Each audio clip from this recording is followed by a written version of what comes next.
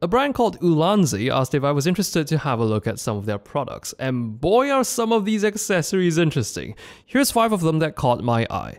This phone holder is called the Iron Man 3. It is fully metal and super sturdy, quarter inch tripod thread on the bottom and there is a ball socket for angling your phone. And instead of a spring clamp holding your phone, Releasing this lock allows you to change the width of your phone holder, and as long as it's slightly wider than your phone, you slide your phone in and turn this knob to lock it in. There's a cold shoe on the top for accessories, and if you pop this out and stick it in here, the base becomes compatible with Arca Swiss tripod heads. Next up is this small but super useful accessory called the R007. It goes on top of your camera hot shoe, and this quarter inch thread can take an accessory, especially a monitor, and it allows you to angle that accessory just by pushing or pulling it, no turning knobs required, don't have to resort to using a magic arm.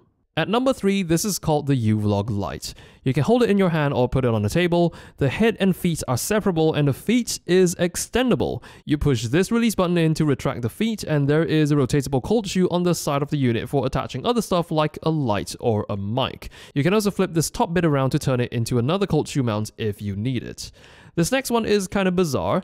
Yes, it's a mirror that you stick onto the back of your phone for framing purposes in case you wish to vlog with your phone's rear cameras. Quite a smart solution actually.